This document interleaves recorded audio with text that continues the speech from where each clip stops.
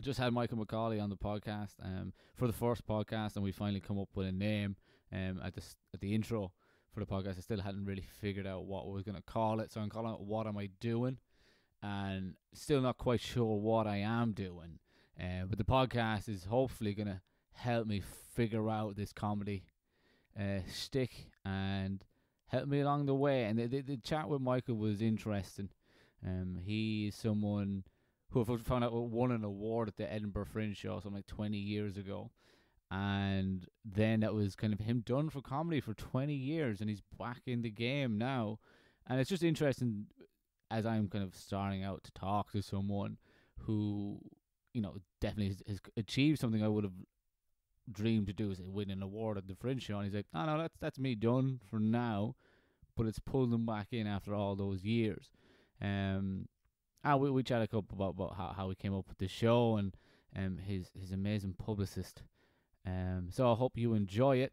Um, just a bit of admin. If you want to follow up with the podcast, um, I'll be posting everything on my Facebook page. So at the moment, that's SBG Comedy, and as well, it'll be going live on YouTube at SBG Comedy. Um, I'll have links um in the description o- o- on YouTube and also my, my Facebook page. But look, um, I hope you enjoy the first episode of What Am I Doing. Good luck. Thanks very much, mate. Well, uh, cheers, Shannon. My name is Michael Macaulay. I'm very pleased to be here. I'm very nice to be uh, being able to have a chat, uh, especially as it, it appears to be chatting all about myself, which is a very easy topic of conversation for me to, to try and remember. You probably So don't I'm even looking need forward to it. here. Oh, I could I could probably do a three hour monologue, mate. Ask, ask Kathleen, she'll tell you. Yeah. So like okay, so this is the inaugural podcast. I haven't come up with a name for it yet. I think I'm gonna figure that out as it goes along. It may look professional in here, but there's very little professionalism going on right now. Um the whole the whole product is is let's see what happens basically. Um so the reason I got you here and the story I'd like you to go over and, and I think it's a good place to start um is your your Edinburgh show. Yeah. From so when when was that? So we decided to take the plunge, and we'd had a few proto shows that we were going to do in the late 90s. And for various reasons, principally complete laziness, we just hadn't done it. And then eventually, it looked like it was the point where, in a bit like in a Judd Apatow movie, we were going to have to start settling down or do something. So it was like a last stand where we thought, we've got a bit of a window this summer. Yeah. So it was, we decided to do it in 2000, but planning it to do it in 2001. So we did it in uh, the Edinburgh Festival 2001. Okay. And it, the whole thing must have took about eight months to plan. Eight months to plan. Yeah. And when you were building the show, like, did you build the show in like small sets building up to Yeah. the Edinburgh show, or how how did it how did it work, So what, what, Like- or how did it not work? well, what happened was we, we built, uh, we were doing like little warm up things and we were doing maybe five, five minutes at a time because you got to be realistic. yeah. We so just to explain, we decided to do this. My friend and I, Chris Newman, we did it as a double act because our ambition when we were little kids was to be like working men's club comics. But we didn't want to do like racist or sexist material because Yeah. this was, you know, growing up in the 80s and 90s, that wasn't the right thing, and it, it still isn't. But we wanted to be have that kind of shabby, faded glamour of club comics. But we would never do anything in the clubs because we'd get physically attacked and thrown out. So we wouldn't do that. So that was the basic idea. So we always thought we'll do a double act. And so we kind of built it up piece by piece. And so there was like segments here, segments there. We used to do, we'd start off, and our first thought is we've got to do something just to make sure everyone knows what we're doing and who we are. Yeah. So we just did a few one liners that, we, that we made up. Yeah. And I subsequently saw, weirdly enough, about two years after the first time I saw Peter Kay, he did the exact same thing. I was saying, oh yeah, great tactic, Peter. Although, to be fair, he didn't make his jokes up. He just like did famous jokes, but he did them a million times better than us, obviously. Okay. So So uh, we did that. This is a bit off topic. P- Peter Kay, I, I, he became like he was huge. Yeah, he- UK. massive. Yeah, huge in the UK. still is. Still is. I, I've never seen anything he really. I know he had a TV show. Oh, Pete. Well, he did. So Peter Kay. So some people absolutely love him. Some people think he's all right. I Yeah. I think he's funny, but I, like, I don't rave over him. But I appreciate that he's brilliant. You know what Yeah, I mean? yeah, yeah, yeah, yeah. My my wife Kathleen and all her family just cry and cry and cry with laughter at his stand up because he does everything about living in the north, Uh, and so everything he describes is basically our lives. You know what I mean? he he was to me he was like the comic that the general public love. Like Yeah, if he does, you, yeah. If you mention Everyone loves him. Like he's like like a Michael McIntyre. Yeah. You know what I mean? Like you don't have to be into comedy to know who he is. They just go, Huge star. "That's what a comedian." huge Yeah, popular yeah. appeal, huge star, and he's really good. But the funny thing about Peter Kay that I always did really like about him was before I even realised he did stand up, and before he did Phoenix Nights. I don't know if you used to watch Phoenix Oh, Nights on Channel it, Four. Phoenix Nights. Yeah, But yeah, he yeah. used to have this special, like it was just called. I think it was just called the Peter Kay Show, and it was before Phoenix Nights, and it was six half-hour episodes, and it was like a different character every time. And the character that he did, he actually did one of the Phoenix Nights characters. The the guy, the the manager, I forget his name, is one of the show, and that became obviously the platform for, for Phoenix Nights. Okay. And so the thing about Peter Kay, which is something that I admire completely and have no capacity to do whatsoever, is he's also a brilliant actor. You know what I mean? He's not just a Yeah. good stand-up. He's actually Yeah. a brilliant performer Yeah, and a brilliant actor, Yeah. and he's amazing at it. And but it was this initial show, which I don't think that many people ever latched onto. That first show, like just his half hours, was absolutely amazing. It was amazing, really brilliant. yeah. Yeah. He th- just now that we're talking about like actors who the comedians who had like acting chops, like Ricky Gervais. Yeah. He he came up as a stand-up comic, wasn't he? Or was he an actor who was who was a comedic actor? Well, I, I can I can never quite kel- uh, tell because, as far as I'm aware, he, he was a pop star, wasn't he? Which didn't go very far outside of. I think it was Indonesia. He was quite big in Indonesia in the Oh, mid nineties. no, I'm uh, not, not not. Did I say Yeah. Ricky Gervais? Yeah, off the office. No, no, I'm not Oh, talking sorry, about him. Ah, what's his name? Uh, Northern comic as well. Um, is his name Fat Dude? Really funny. That's not narrowing it down. That's Ray. not really narrowed down. No, fuck. Ah. Um, Ricky. It's definitely Ricky. Not the bloke off the royal family, Ricky Tomlinson. No, I no, was going to no, say no, because he's no. definitely an actor. No, or is it even Ricky? Um, this is good. What's he been in? Uh, can't remember now. oh, he was in those ads, the car ads with the the monkey. The, the oh, Johnny Vegas. Johnny Vegas. Johnny Vegas. Yeah, hell, yeah, yeah. Johnny you. Vegas. Uh, yeah, well, no, John, Johnny Vegas, mate. Everyone thought he was a just a normal stand-up, but he was more like a performance artist. Yeah, yeah. With his, he used to do his pottery things, and then he used to. He did. He, he was. He used to. He had a really. He, he won a Perrier. I think. I can't remember, like 98, 99. And he would do pottery on stage and do stand up at the same time. But then he'd do weird things like he'd feign having a breakdown and stuff like that. yeah. and it was amazing. He's a- Yeah. and, but but he is again another brilliantly talented actor. He, He's yeah, great. he, he he's you see him on the, the, the like the comedy chat shows like Yeah. the nine out of ten cats or whatever, and he will bring the house. yeah, he's down. he's brilliant, mate. and he'll have one of his breakdowns, or he just you never you, you don't know.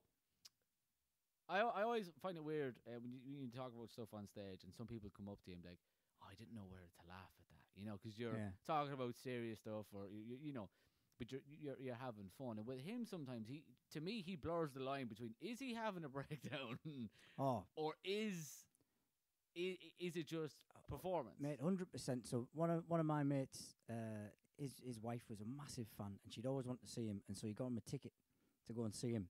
And this must have been in about I think 2004, five ish, give or take. So he was mainly doing career on like TV at this point. Yeah. dead successful. But this tour he was doing was one of these ones where he went even more bananas than normal. And she came out in floods of tears, worried about his mental health. And she just thought, and, and it only turned out like w- way, way later, she'd realised it was the act. it was the act, but okay, it just okay. hadn't been to her comic sensibilities. he, he mastered that. Though. Oh, he like, was brilliant at it, yeah, apparently. unbelievable at. it. Yeah, Yeah. yeah, No, no, that's okay. Okay, yeah, that's that's That's that's, that's I always, at least I remember his name now, Johnny Vegas. Like Yeah. He's yeah. He, he he had a couple of really weird shows on like BBC Three. oh yeah, he's got he's got loads of He's them. loads One of where he was a drug dealer and all sorts yeah, of things. that one. Yeah, that was that was that yeah that was super strange. Um, but the BBC Three had an awful lot of that. Like they would give a lot of like comedians and artists chances that Oh, you would. would normally see. Um, uh, yeah, I, I used to hear a lot of British comics like praising the BBC Three. But e- even now, things like Radio 4, the amount of people who've gone up and actually started off before they got a TV break, they do Radio 4 and then write jokes and they do sketches and then they Yeah. progress and progress and progress. It's like just a it's absolute roll call. Okay, okay, okay, okay. So, okay, the Fringe show. Yeah. Let's get back to Oh yeah, right. So so we we were doing this thing piece by piece, and uh, we realised soon that we were going to struggle to, to get a lot of material. So obviously we thought club comics. What's the next thing you do? Ah, variety acts. So we ended up getting a magician. We did uh, who dressed in monk's robes Oh, and called himself the prophet, and it was good because he gave us a little break, yeah. and he and he actually had a tangible skill. Like so, he could actually do magic. Okay. You know what I mean? In a, in a way that we couldn't necessarily do comedy. Ru- So right. there was a nice counterpoint when everyone was going, "What the hell is going on?" Everyone looked baffled when this magician would come out with like a big dramatic entrance. Yeah. I am the prophet and all this kind of thing. And then he'd do a real trick. So everyone would sort of go, "Oh, this is a genuine piece of entertainment." And yeah, all right, we can relax. right. And then then we had a guy who was ostensibly there to be our publicist, but we soon discovered within maybe hours of being there that publicity was not his forte. so he ended up doing a monologue uh, at half time. Because we needed to get changed into kimonos for the second half of the show. Oh, we, we wore God. kimonos for the second half of the show Right. that we hadn't planned on doing. We literally the day, the true story, the opening day of the show, we were walking down uh, Grassmarket, Yeah. and Nicholson's one of the beautiful second-hand shops. It's still there, uh, dead famous in Edinburgh. And uh, we saw these silk kimonos. We just thought we'll have them. yeah, we'll have them. Yeah. Yeah. They just looked. It was too, and they, were, like they weren't quite matching, but Yeah. they kind of looked matching. It was too good to be true. Yeah, and it was absolutely nothing to do with the show. No, we never explained it ever at all. We just reappeared in kimonos. Didn't make it. Didn't make a joke about it or a reference to it. Just wore our kimonos. So was it uh, an hour long show? Yeah. Uh, well, it's about fifty minutes. Yeah, About 50 minutes. Yeah, so yeah. you have a wardrobe change, you have a magician, and you have your publicist doing a monologue. exactly. Yeah. Wow. That's well, we it's 'cause we were struggling, mate. I mean, we were really struggling. So, talk n- about necessity is the mother of invention, Well, isn't it? I could do a couple of those next time I need to fill for time on stage. Well, I w- it, it, taught, it, it w- interestingly, it taught, it did, it helped you do a little bit about structure. So the second half of the show, which always, always, always, apart from the one crazy night where just everything was the biggest disaster imaginable, yeah. uh, it always built on the first half of the show. So there was a load of callbacks. And Okay. like the, the very final gags referred back to two or three ones that were staircased in and all that kind of stuff. Yeah. So there was a little bit of intelligence to it. Yeah, yeah. But obviously, the intelligence is only as good as the joke that's behind it, innit? So it- Yeah, people yeah. can go, "Oh, I appreciate the structure of that," yeah. but it's still not it's funny. still not funny. yeah, no one's gonna, no one's yeah. gonna like that either. But, I think uh, I think we should probably mention what your show was about. well, so the show, it was, uh, it was, you know, the uh, a flight of fancy through the imagination of the rich and famous is what it was about. We called it under laboratory conditions Yeah. after the old Paul Daniels segment yeah. we, we hated Paul Daniels.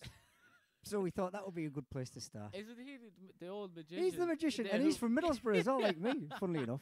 And a big Tory voter too. We never liked Paul Daniels.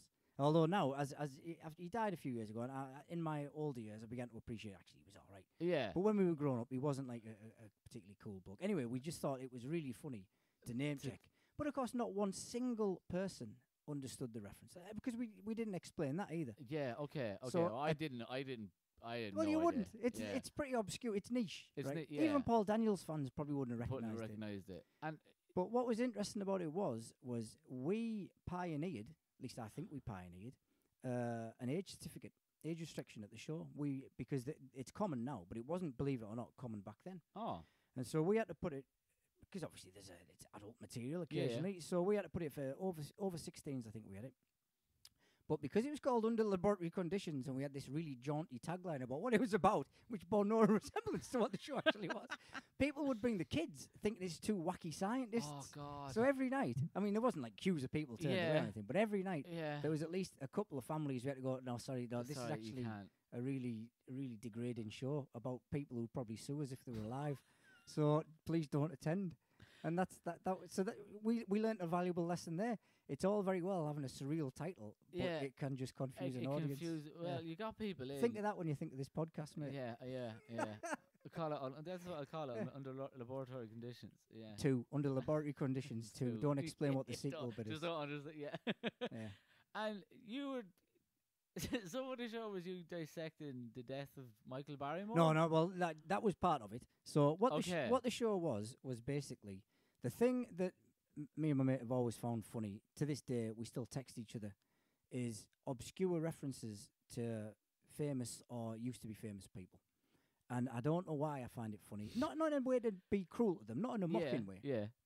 but just I think the very fact that you can make a joke about these people is just what makes me laugh out loud. So to give you an example, just last week we had a text conversation about the 1970s minor horror film actress Karen Black. And just the fact that we could is still, in fact, it's making me laugh thinking about it now. There's nothing intrinsically funny about it, but just the the fact that we could do it. So a lot of our gags uh, was a lot of pop culture references. So if someone overseas turned up, they, they couldn't understand us Okay. Okay. and uh, and truthfully, a lot of our pop culture references were obscure even for a British audience. Oh God. So I don't know I- if you've ever heard of the 1960s, early 1960s pop star Billy Fury.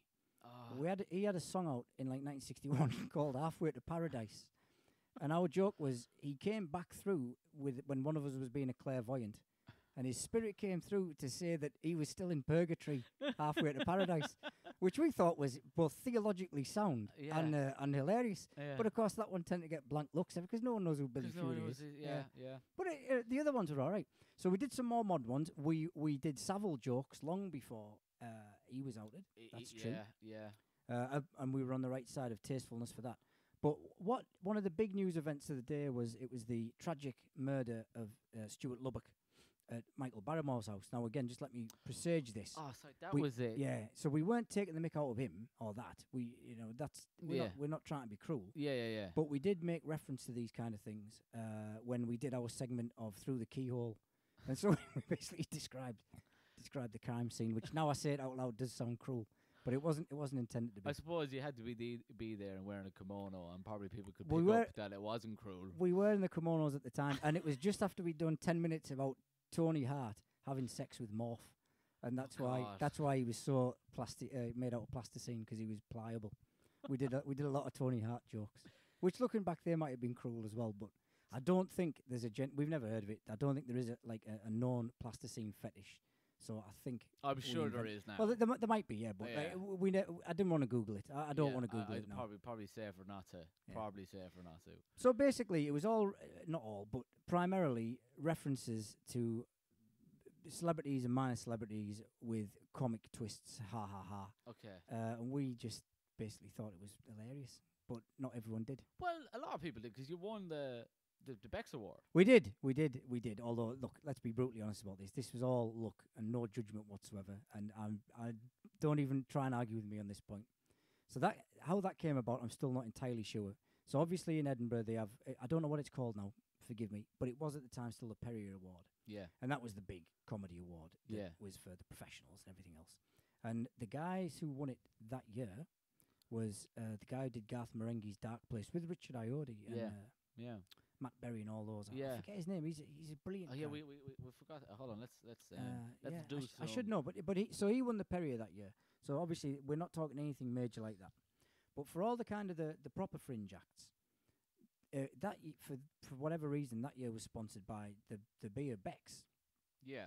And this was the very early days of online voting and online judging and all that kind of thing. And wha- whatever it was, Matthew Holness. Matthew Holness, of course, Matthew forgive Holness. me, yeah, Matthew Holness. He's brilliant. He just directed an amazing horror film last year. He's he's a really talented guy. But uh, so what it was was we we we got to Edinburgh. We were doing this thing, and about two or three days in, someone said, "Did you know y- you're like you're doing really well on this Beck's beer thing?" And we went, "No, what's that?" And we assumed at this point that our publicist had rigged it, and then we realised he was too. He, he just didn't have. He didn't have the.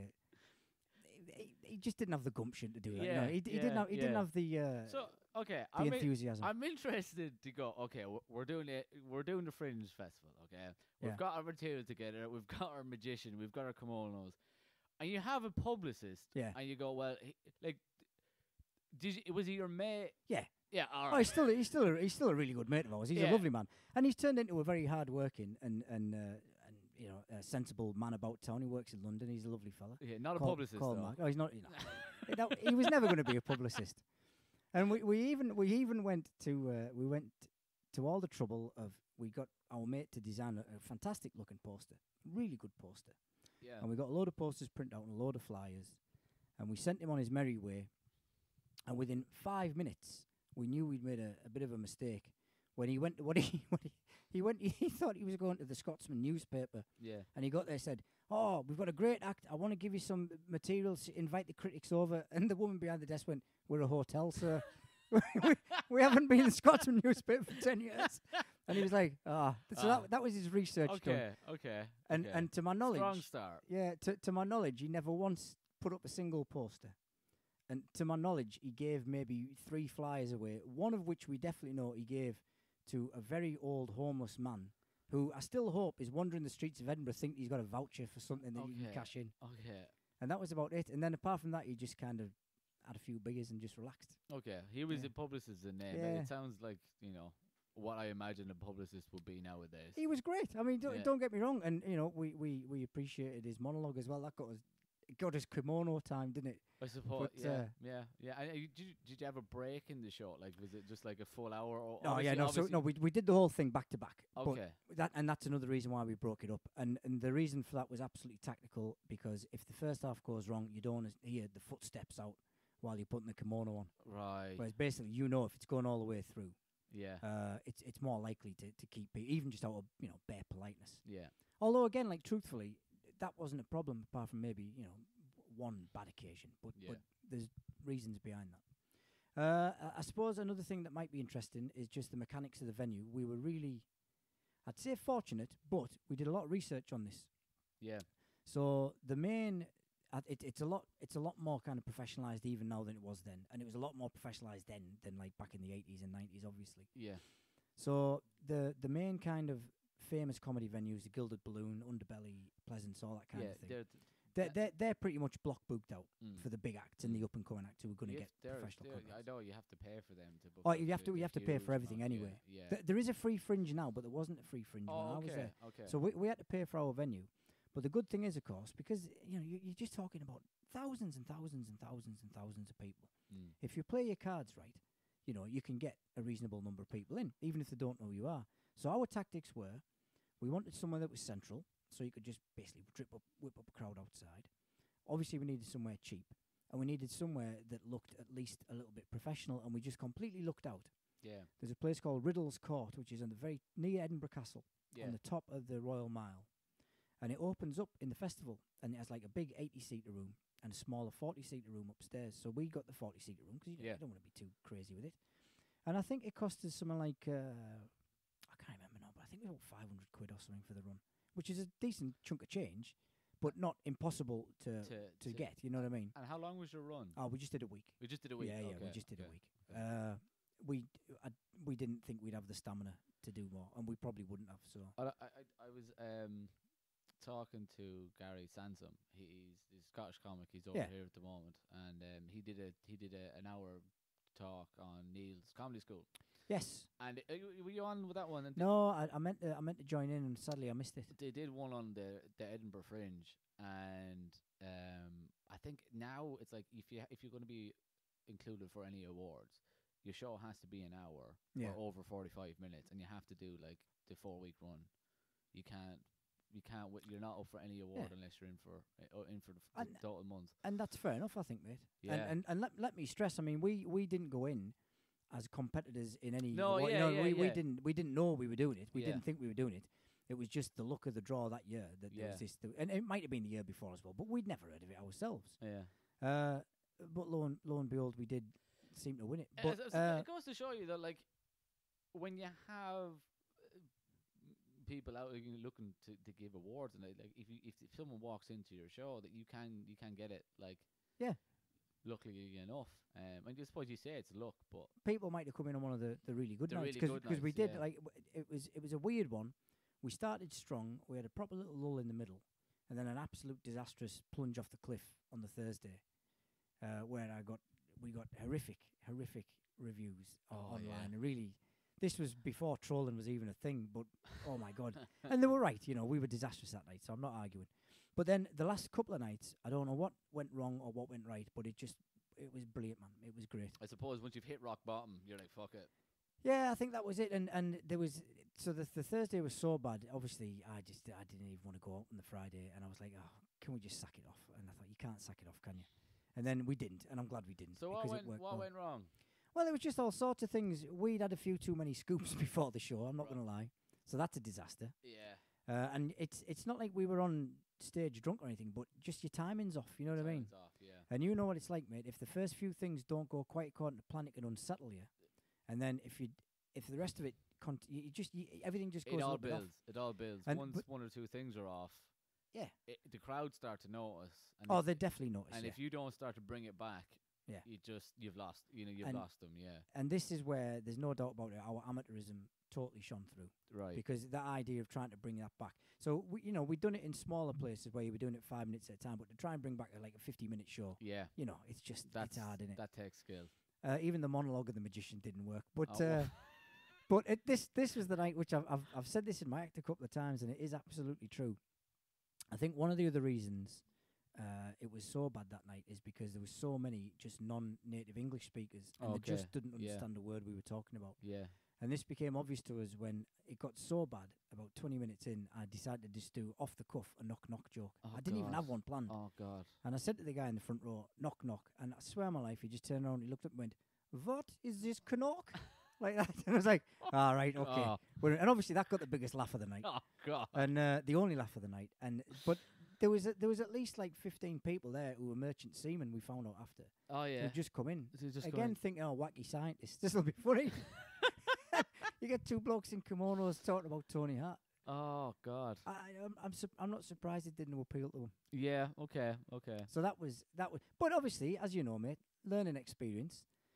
To have such a bleak evening was was quite good, really, in the scheme of things, Mm. because it teaches you, don't it? It teaches you a bit of resolve and a bit of resilience, and it taught me never, and I've never, ever, ever, ever done it again to have too many drinks before a show. Never, ever, It- ever, ever. That makes a big difference. Huge man. It's a huge. It's, it's a huge thing. I think.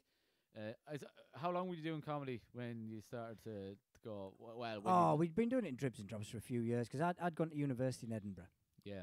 and it was the golden age of kind of the first wave of proper big stand up comedy Right. where every Friday night for like five quid you can go and see people who are household names now, Yeah. like Harry Hill and Al, uh, Al Murray, Al the Murray, pub yeah. landlord, before he was the pub landlord.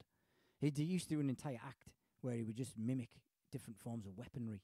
So he'd do an impression of the noise of a longbow and then an AK 47. Oh, what? That was his act. It was really weird. I've I've heard I've heard of things that like obviously Al Murray, the pub landlord, like he i i it's drummed up as this very silly. Yeah. Ve- he's you know maybe not the most smartest guy, but I've heard that he's like st- really tuned in. Oh, he's like, incredibly like intelligent fella. Incredibly intelligent. Yeah. Like I, I think he got a first from Oxford or Cambridge and stuff, and he's like he's Mr. Hyper Intelligent. Yeah. Yeah. And I remember, I remember the year. It must have been it was either ninety four or ninety five. I think it was ninety four when he first started doing the pub landlord because he he was supporting Harry Hill, and it was the first time he was doing it. It was before he was going up doing it himself, Yeah. and uh, it was absolutely the two of them. w- It was just it was brilliant. I, I still think that was the best show I ever saw. That, that's that's a very. I think p- if anyone if anyone is listening to this or does, They'll be flocking. There'll be a bloke from Denmark from a merchant seaman going, "What is this podcast?" That's what it'll be. um, they, they they they act like the, the pub landlord and like uh, Harry Hill. Like you don't. I don't know. I haven't seen. I don't know if there's still acts like that in the UK, but that that brand of comedy, of that kind of more of it's a, a theatrical act and uh, uh, um, not like a set piece, but the, the, the more character Yeah. stand-up comedy. It's definitely more of a u- like a a, a Oh, British thing. De- Harry Hill. It's like proper music hall kind of tradition, that type of stuff. Yeah. yeah, less observational and more kind of wacky and yeah. anarchic and stuff. Yeah, I mean, there's a, I think there's a big tradition. I wouldn't I wouldn't know who's doing it now, but I'm I'm sure it's still. I, I, happening. yeah, I I'm sure it still is. like I, I don't see too many people doing it now. Yeah. Um, actually, I don't see anyone doing it now. You like, But of course, that that went mainstream as well, didn't it? 'Cause like Harry Hill ended up on ITV for like ten years and Yeah, stuff. So yeah, yeah. all that stuff just became it was there was not nothing alternative about it. It was family. it was, it was just, it was, was- it's a family. nice. It became more family entertainment. Yeah. That's why it's like the pub landlord is. It seems like it's just going to be like family entertainment. yeah, that's not family entertainment. like, yeah, you go, oh god, all right, no, no, that's something completely different. no. Um, But but they they used to come along and there was like open mic slots after them and everything. So it was good because you know, technically, except for I was on the same bill as uh, Stewart Lee and all this Yeah. kind of thing. yeah, You know, which im- still sounds great when you say it until you actually go into the actual truth of what it was. Sounds you know good. what I when You mean? say I've mentioned Stewart Lee's Yeah. name to a few people here, and they're like, Yeah. "I've heard of him." Yeah, but th- but they they were like it, it was it was absolutely brilliant. And I think there was a few universities on the circuit. We were just lucky enough that obviously Edinburgh being Edinburgh was one of them, because it would be every week. And if it wasn't those, it was people who were massive at the time, maybe not quite so famous now, but like Jeff Green and Mark Thomas and Mm. Jenny Eclair. And these people were just complete regulars, like every week, yeah. every week for buttons. It Uh, was great. And were you, are you like in terms of like the open mic scene there? What was it like? Was there was there as many spots? Was it like just a you go on after those shows? Oh yeah, so you you you would never go on before. They'd- Oh, it, yeah, it, it wouldn't be like that. So they'd have they'd have all the headliners on, but then they'd basically open it up for like amateurs. You know what Oh, I mean? that's that's yeah. And 'cause it was at university, it was a, a relatively friendly crowd. so you know was, what I mean? was this in in the university? thi- th- I would yeah this the, the the ones I was doing was all like university gigs. I wasn't doing like a, a Scotland circuit or anything. Like right. Okay. Uh, but it was great 'cause it was still plenty of people there. Yeah. The trouble is, of course, 'cause you're going on later on, it did tend to be absolutely wrecked people. Yeah. So uh, again, That's a it's rough- mix and match, is it? Yeah. you know it's what I a mean? rough place to start. out. Sometimes it's all right, but Yeah. I mean, it's not like it's not like any horror shows like you hear about people going to the Glasgow Empire or anything like that. you know. No. No. There was there was no one throwing things at you or nothing. I've but yet, it- to, it I've was yet good. to had someone throw out something at me yet. I don't think it would happen in New Zealand, mate. No, it'd be, I tou- don't- I you- don't it'd be it would tough, wouldn't it? It'd be I tough. think it would be unlikely. yeah. Yeah, Like I think we're more likely to throw something at them than them to throw something at us. yeah, I, I think so. I think so, mate. But uh, but it, and it went from there. So because of that, you know, you you end up knowing a couple of people, and you would do other things like you had a little radio show at one point and stuff like in the middle of the nineties, and uh, all sorts of little weird and wonderful bits. Mm. but nothing like uh, yeah there's no career plan no nothing like that it was just Yeah. something i always want i did always want to do it from being a kid Uh, But- yeah, so that, that kind of brings me on to the next thing I wanted to talk to. you. So you you, you always wanted to do Yeah. do stand up. You did you were doing it, and then you, you entered into the fringe. You won an award, i did and then went yeah pretty much sacked it off fuck, yeah fuck that, and then you've taken it up what twenty years? more or less 20 years later yeah Yeah, Yeah. yeah. So was it a hard decision to make, or was it just well yes and no so again it's like it's an aging stage thing so i was approaching thir- i wasn't quite 30 but i was approaching 30 i was getting married and it's one of these things where you do realize that it would be lovely to pursue your dreams yeah, but 'cause it had gone so well, it was like an easier decision to make. You know what I mean? There wasn't like an y- y- you weren't going, oh, if only we just an X, then it would have been even better. Do you feel like because you did because you We went did it, it was really you- good, yeah. you did it. we had a great it, time. You went fantastic. Take take the award out of it, man. I mean, the, the the thing that was the achievement was going and doing it and having a good time. That Yeah, was the and yeah. and having really successful nights. That was the thing. You know what I mean? mm-hmm, mm-hmm. That's far more rewarding, isn't it? Because like uh, genuinely, mate, everything else was just luck, honest. But it was just seeing proper strangers having a proper howl at your material that you've crafted over like a six month period. There's nothing better. man. It's just it's Yeah. like, it's like that now, isn't it? So that was the big thing. So that made it easier. But like, it, you know, and there was no ultimatums or anything. But it was just, it was obvious. And, and my mate could definitely not do it. I mean, this was definitely like the the one throw of the dice for him. okay. So I just thought, well, what are we going to do here? Uh, really, let's be a grown up. And then, of course, I'm stupid, really, 'cause you're limited by your own imagination, aren't you? And you don't ever realise, well, you can be a grown up, but you can still do all this stuff as well. Yeah, That just never occurred to me. You Like, never- genuinely never yeah. occurred to me. yeah. And then after a few more years after that, it becomes one of these things where you get a little embarrassed to even discuss it with people. Because if you tell people, you know what it's like. You tell anyone you do stand up, there's a weight of expectation on your shoulders. And so if you said, and I did Edinburgh, and I would never even, I mean, I didn't tell you for over a year, did I? I think I, I, think I think I might have mentioned I'd done the fringe, but I didn't. you- I didn't mention that it'd gone really well. no, you mentioned it to me that you'd done Edinburgh Yeah. in the green room before I was going up. Uh, I, I know. I think I'd just gone up, and you went, "Oh yeah, like this is great. Like I used to do the fringe and all that." And I was like, "Oh yeah, thanks." I was, I, I Oh, sorry, no, mate. no, no. but you know, you know, you know. I hope I didn't break that code of conduct we all saw from Jerome the other day. I hope it was. I kept it a safe space, mate. I didn't. I, I don't never read those things. It Oh, just it's good. Good read. is it. Yeah, it's cra- ten pages. Fuck that. It's a good read. I just, I just, I stay out the green room. I'm, I'm waiting for the graphic novel version. That would be good. um, But no, but it- and so so that was like that ma- made it easier. And then like over the years, you just get used to not doing it, don't you? And then you have children, and then everything else, and then you come here. And the, the big thing that made it all different last year was your friend and mine, Carrie, who went to Neil's comedy school. oh, That was it. So you, because I thought you were, uh, like, I think we must have came on the scene around the same time. But oh, I think so, yeah. Oh, okay. Because I thought you'd been doing it for ages, and I just thought you just didn't t- come out that much. No, no, no. because no. I remember no. seeing you and you was like, uh, you got up on stage. And I was like, this dude's really good. Like I think I remember, I remember the first time seeing you going, oh no, this guy's got like, you had what I struggled to have was actual jokes. Um, We all struggle with that, at man. the start. But you, you had such an ease on stage. I was like, oh, this guy's done, has been doing this for a while. And then when you said you'd been at uh, the Fringe in Edinburgh, I was like, oh, like you've got some, No. some, j- but some, jo- but it, it, it seems that what, what, so what do you do now? Well, I uh, I uh, I work at the university, mate. Ah, Okay. So I, I do a lot of public speaking. you do a lot so- of public yeah, yeah, speaking. Yeah, yeah, So yeah. yeah. so being in front of people, and being in front of people who might even be half and half whether or not they're going to like you, that is something I am mercifully totally used to. yeah. Like totally used to. You know yeah, what I mean? I think that because I was I was just wondering how you kept Yeah.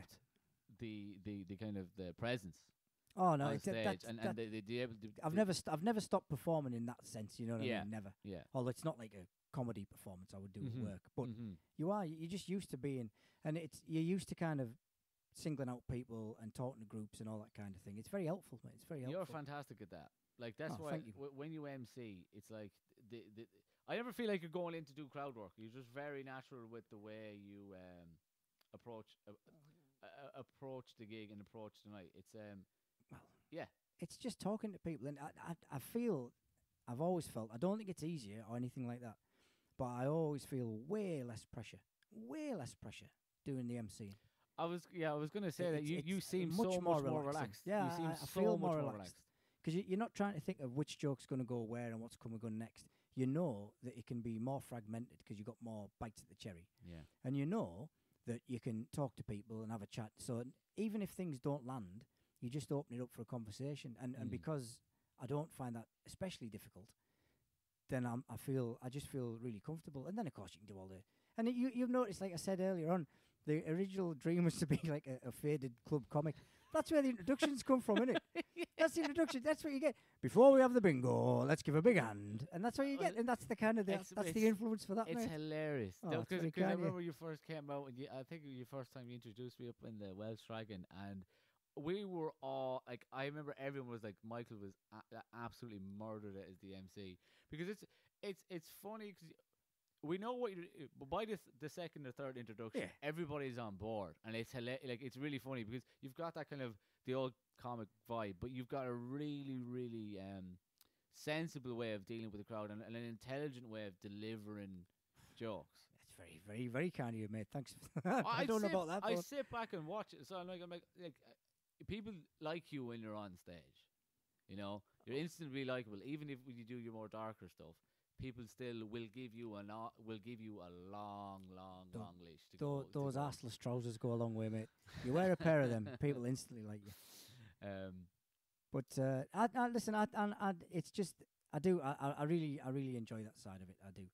But it's just nice when you see it all gelled on you. Like when when we had our we had a great open mic last week at Powwow, yeah, and just everything worked, didn't it? And I think there's that combination of everyone was chuffed stiff to be out.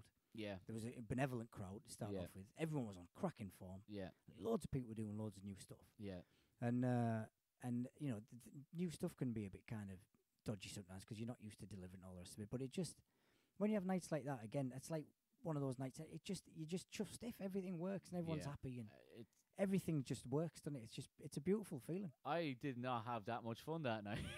I thought you were great, mate. Honestly, I, I thought you were fantastic. Everyone, yeah, no, I, I, I thought it was a great night, but I was um didn't feel very, very, very comfortable comfortable on stage. Um, well, you did well, mate. I didn't. I, I, it, I felt it came off a little bit too. Um, I, I didn't. Enjoy, I, I had fun, but I didn't really enjoy it. If you know what Ah. I mean. I knew things were landing, but it felt a little bit too peak, trough, peak, trough, peak, trough, Well, and it wasn't. I wasn't helped by the the guy um who kept talking Yeah, the whole way through. Yeah. see that I see that was bad MC in my by my on my part. I should have I should have been more uh, I think assertive, but Everyone he was making me laugh with it because his his heckles were just stupid, weren't they? they- they were- you know what? Outrageous fortune. he what was- do you shout that for? He was just, I don't know. He was having a conversation with the comic. Yeah. I- He was, he's like, I, I think we all know that person. We've seen them. They're drunk. That they want to be part of the show. Yeah, They're supportive with their heckles. he thinks he's helping. yeah, and then he, Yeah. he he gives you a high five after you get off the stage. I was Yeah. about to slap him in the head. I was like, "Don't, d- don't try and shake my hand." That wasn't. I, th- I think he definitely thought he was helping, and he definitely wasn't. But I will say, mate, you know, I think one of the biggest laughs of the night was your little comeback with him and everything. Everyone loved it. Well, Everyone loved it, mate. I think. I think after a while, see, I think after a while, people will just get sick of it because Yeah, it's. I think you can get people who shout out during during a night, and that's fine. I think every now and again, yeah, fair enough. You've got a, a, a loud crowd member, but I think the longer they're allowed to get away with it, they think they're part of the show. yeah. You know, and then they're like, "Oh well, you know." See, well, that, that is that is my fault. So I, I was a terrible MC after all. But I, No. I, I don't even think. I mean, some the, the occasional heckle can work. The occasional heckle can break a bit of tension, and, and sometimes when people are rubbish at heckling, it gives It's you like better, it's yeah. fantastic, isn't it? Yeah. Because I mean, fan, you heckle back, don't you? Because boo, Yeah. what a bad heckle. Yeah, I, I last, Heckle properly. last, boo. last night, um, I tr- I picked up on something that the crowds, one guy in the crowd said he was a fisheries offer, officer, and he said he was a Power Ranger. Yeah. Right. I was like, oh fuck, and the MC like didn't glossed over it, and I was like, oh, he's missed a trick there. This guy said he's a Power Ranger, Yeah. And I was like, are you a fisheries officer? He's like, yeah, a Power Ranger. He's like, yeah, and I was like to the audience, Power Ranger, and they went, no. they were like, no, I was, I was like, fuck you then. Oh, man, I'd, I'd have laughed if I'd have been there. Absolutely nothing. I was like, well, fair enough then. I'd, I'd have laughed if I'd have been there. Yeah, well, you could have done with you last night because I thought that was. Hil- I like. I, I, I find it hilarious that they're the fisheries uh, are they call Power Rangers Yeah. because they go for power. What does he morph into? That's the Yeah, big question. it? see, yeah, no, no, no. That joke went. Mighty Morphin Tarahiki. It'd that- be that- great. That's that's what happens when you've you've an experienced MC. He knew he heard that he heard Power. Went, Yeah. no, I'm not touching that. No, I'm that- not that- touching that. Professionalism. I was yeah, yeah, yeah. Um, so that that is that that that I learned a lesson last night. Yeah, well, if it doesn't, pi- it, the MC doesn't pick it up. Don't think you're Yeah. smarter than the professional comic. And I go, do you know what? I think you missed the trick there, buddy. Went up and fucking ate shit straight away. It's the first, the first first Yeah. joke came out my mouth. And we I- live and learn, mate. and I was, and the worst thing is, it was the last one on. And it, even if it's an open mic, doesn't matter what happens. If you're the last person on, people expect you to be really good. They do expect a bang at the end. and you're yeah. like, oh, I'm just working out some new stuff tonight. Yeah. I didn't think I was gonna be on last. And I'm not, uh, you're not headlining. You're not fucking open mic. It's just, you know, it's just the look of the draw, innit? you just look at the draw and you're like, oh, I've just got, I, I've, I wrote these earlier on, and we'd be Yeah. like, oh, you get a good laugh at the start because they're excited, because they're like, here's the really good guy. But then you do the Power Ranger material. Yeah, and, and then they're like- desperate. fuck. I was like, It's yeah, like- well, no- last week, last week, I, I honestly, it was, just after. Was it just before you or just after you? And someone had said something in the act. Um, and it was about a pension plan, and I made a joke about Kathleen getting me a new pension plan being a raft, which I thought was hilarious. And I thought, ah, ah, ha ha, because I'll be like at sea by myself. I, I remember that. I And I laughed. was, I was chuffed with myself. Silence. Silence, yeah. And yeah. it just makes you think. In that moment when you think you're being really witty, sometimes you are. Sometimes, Sometimes you're you're not. But I, I, th- I think it, it, it, it pulls to like when you're listening to someone's material, because you're a comic, you, you can sometimes fish out a line. Oh, of course you do. you Can't fish out it. a line that, if especially if it's going to be the MC. Especially when you like the person who's on Yeah. as well. You know what I mean? Because you want to kind of almost join in. You're like Luke. You want to help. Yeah. but if you're the crowd, I think sometimes they, they don't they only hear they they'll miss that Yeah. because that was only a setup to another bit, and once they've heard a setup, that's gone. But we kind of latch on to everything. Yeah. The, the, you- I guess you probably only remember the very last joke or two that someone tells.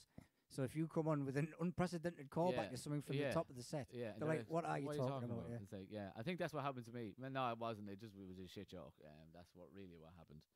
you've got to give it a go with Power Rangers, mate. You did the right thing. I think, I, yeah, I think it's like I can't let that sit there, you Yeah. know. And I, I was confident enough that even if that doesn't land, I was like, I, I've, I can bring it back, and like I, di- I, I, I did. Um, but then like I had some a good, a good solid four minutes, and then the last two were, yeah, it's all right. Yeah. But um, yeah, I was um, I had it was a fu- it was a fun night last night. It was a fun night last night. Um, I think I think it's going to be a lot of fun nights for the next few weeks at least. At least while everyone's just getting back in the zone of being happy and out and just enjoying themselves. It's a nice time, isn't it? It's a nice time for us It all is, to be it's- again. it- it's it- great. Most of the shows we've been, I've done, has been packed. Yeah. Um, Well, that's good. Long may that continue. yeah, I think, I think it's, it's it- like we we were talking about earlier. It's great to do comedy in front of like a, a good packed, happy room. Of course it is. you know um i noticed the like the difference between doing an you know an open mic and 10, 10 15 people to like 40 people who paid Yeah. all want to be there um big difference it's a big big difference Huge. um so in after the lockdown and now we're back on stage like in what are you looking to do kind of this the rest of this year Well, or, or early I've next year uh, have you got any plans as I have been for the last several decades of my life, I wouldn't say I'm necessarily the most ambitious person in the world or strategic in terms of what they might do. If I can just keep plugging away, getting gigs, uh, I'd, I'd love to start doing more up and down the country. That's Yeah. what I'd love to do. I think a squad of us should go to Auckland, and do a couple of nights up there. I think that would be great.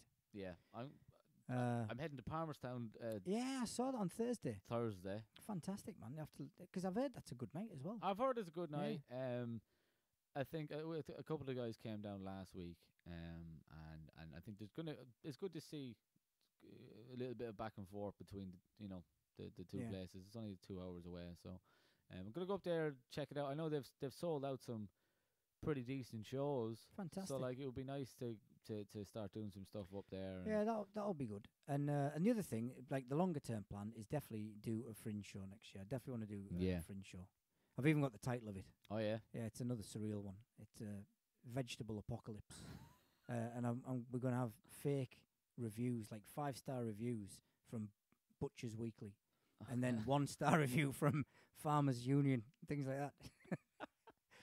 I I've got absolutely no material. Abs- zero. Like I haven't got a, Abs- I haven't got a single joke about a courgette or anything. Absolutely. So so th- th- okay. So you, you've I just think the- it'll work It'll work, It'll yeah. work, I suppose all, all you gotta do is get them there, and then they're stuck there. because the the poster's going to be like a leek and a courgette and a carrot in a triangle with the the kind of the eye, the Illuminati eye in the middle of it. Yeah. That's what it's going to be. Okay. And any d- just so so where did this come from?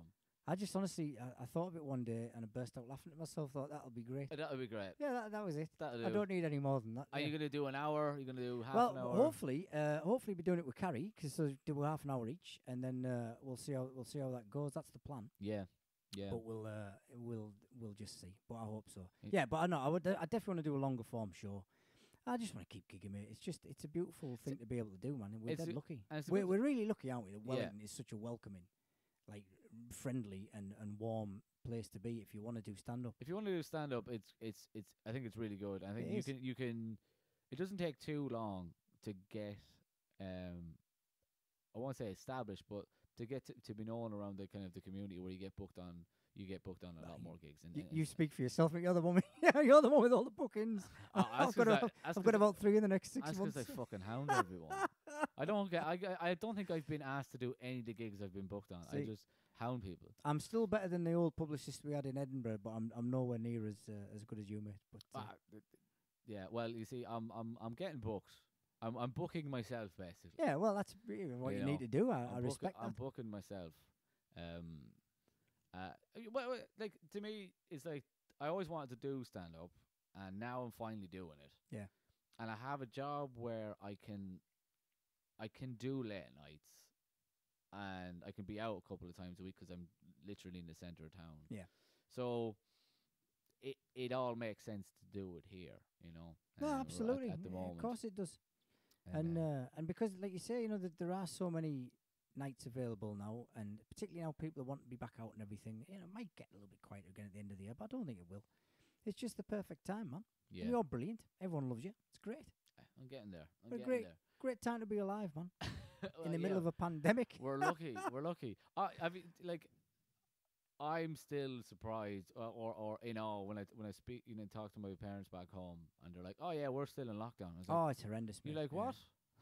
no, Oh. no, we beat it. And they're like, "No, you it here." I was like, "Oh, I, th- uh, definitely last week. I don't know if it's shifted in the next last few days, but as of last Thursday, Middlesbrough, where I'm from, is still the like the epicenter of the worst of the cases and the deaths. And there's there's been there's been a few people I know, sadly, yeah, member of my family and things. So it, it, like genuinely it's horrendous. It's generally that's that's. This this really is no way to end a, a podcast about No, I think that's, that's you know- you know we get one guest on Yeah. and then no one listens to it again. Well, that'll Um, be all I- yeah. I- I- okay, so I, I, I, we- we, we'll start to kind of wrap up, but um, I want to ask you a couple of things about Middlesbrough. Oh yeah, sure. Do you gr- you you grew up there, yeah? Teesside, yeah. I'm actually from a town called Thornaby, yeah. Okay, So so just outside. I've only met one person from Middlesbrough, and they just told me Middlesbrough is rough as fuck. Yes. Like it's re- like how how bad is it? Well, uh, it's made. It's it's it's just Uh, that's a very very very broad question. I I understand that's a bit of a so, fucking so the, these th- these things are all relative, aren't they? Right. So there's Yeah. no there's no absolute roughness, and there's loads of the UK that's rough, and there's plenty of places I've been in the UK where I felt more nervy than I've been in Middlesbrough. yeah. But I know most of my mates who've been to stay with me over the years have felt more nervous in Teesside than they have in other places. okay. So it's you know it, it is I suppose I I I don't mean the question like how rough is it? It's a very broad question. I'm like in terms of like growing up there and you know, Well- I I- I've grown like where I'm from like in Ireland like it's it's it, in Carlow it's not exactly Yeah. uh, rough but it's there are some areas that are kind of rough. Now I've got this impression that Middlesbrough is quite of a uh not a forgotten city but like it's just it's a little bit yeah. Well, it, it's it, it- so uh, when I was growing up in the eighties, it's late seventies, but definitely all through the eighties. Middlesbrough and Teesside generally was more than most areas, as apart from maybe the mining villages that were all getting closed down as well. This was the one that was like suffering with deindustrialisation Yeah, and everything. yeah. Massive unemployment, big crime. And it's just, it is what it is, man. It's like an old traditional working class area. It's, It's- like parts yeah. of Glasgow and parts of Newcastle and parts of Wales. yeah And when all that goes, you've you, you've got trouble, haven't you? So I, I am lucky. I had a really nice upbringing. My mum and dad were very lived in a little bungalow in Yeah. Thornaby. yeah The school I went to was all right. The school next door to me got burned down three times. Uh, it, it hasn't been burned down since they pulled it pulled it down. It's never been burned down subsequently since it turned into houses. I think I think when I asked the question how rough is Middlesbrough, you should Yeah. you should have answered. Well, you know, the school beside me was burned down. the dean three was times. yeah the dean the dean was burned down three times, and then they just went, oh, that's enough. We- We're not going to rebuild. yeah. it." That's the dean. That was that's a stand in the stadium. no, no, it's just the, just the name of the school. I, I don't know what it was named after. I don't know why. Because I I used to, well, I used to wa- love Middlesbrough in the Premiership when Oh, they good lad. Oh, because Good lad. They used to buy outrageous players. We did. Jorginho, Juninho Ra- Ravanelli. Ravanelli, and Yeah. then you you, spe- you spaffed a load of money on that Dutch forward.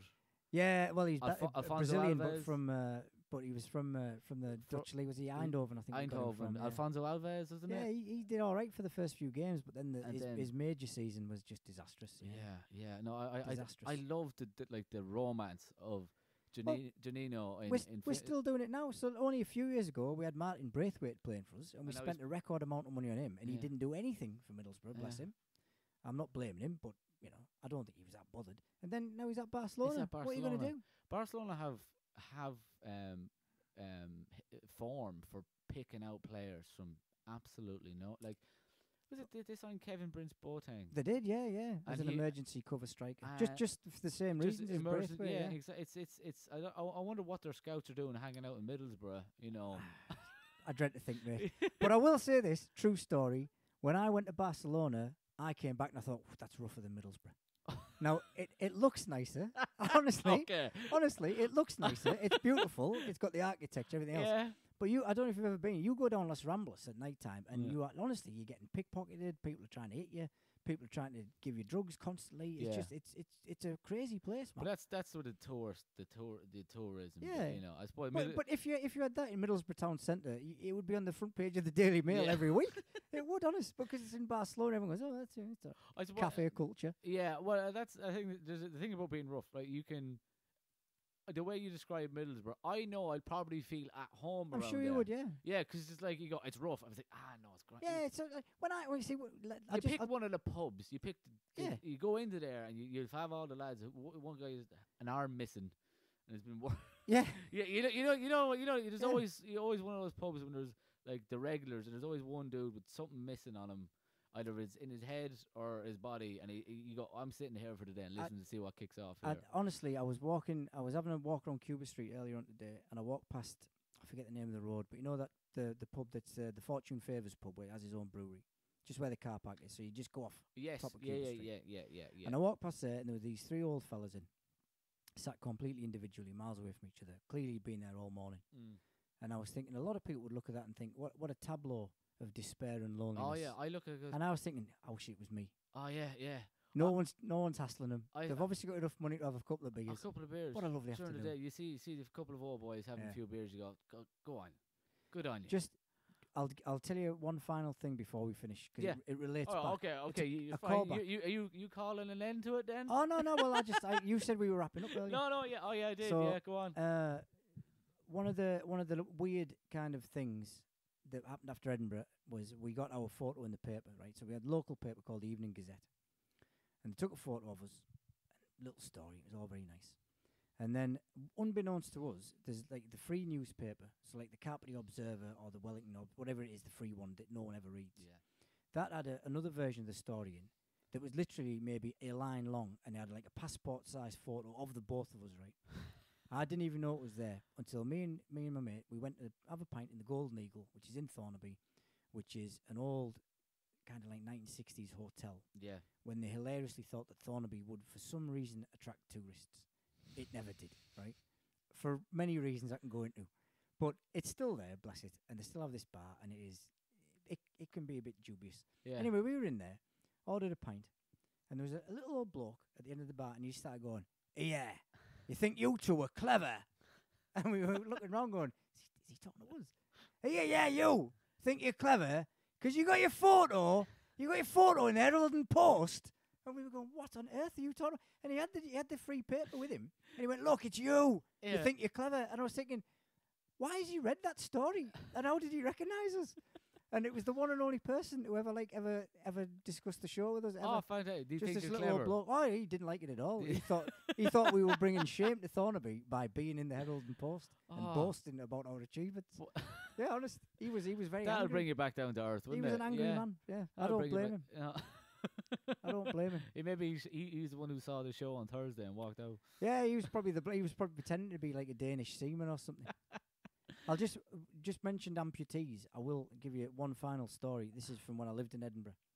Me and my mate Tommy had had a big night out one night, and uh, I just kind of disappeared and I mooched off. I, I don't know what I was doing really, and I, I don't really remember what I was doing. But I remember getting home and it was pouring down with rain, and I only had one shoe on, and my other foot was like I had like trench foot, and everyone's going, "Where's your shoe?" And I said, like, I honestly, I do not know. I do not know where my shoe is. And about three days later, there was a guy with one leg who used to sit outside the Odeon Cinema, and we walked past him, and he had on my shoe. I never felt, never felt proud. I didn't go. I didn't make a fuss, but true story, mate. Maybe I think I think I think you were probably in your you know your drunken stupors like I need to do something good for this guy. I, I, I actually hope he mugged me. yeah. I, I hope he nicked my shoe, but I honestly I can't remember, unfortunately. well, I think that's a fucking fantastic place to end the show, and I think you might have found your next bit to try out on stage tomorrow night. Yeah, let's let's have a go. Eh? Okay, Michael, thank you very much. Thanks, Shannon, much. and happy birthday. Uh, thank you. Oh yeah, it's my birthday today. Um,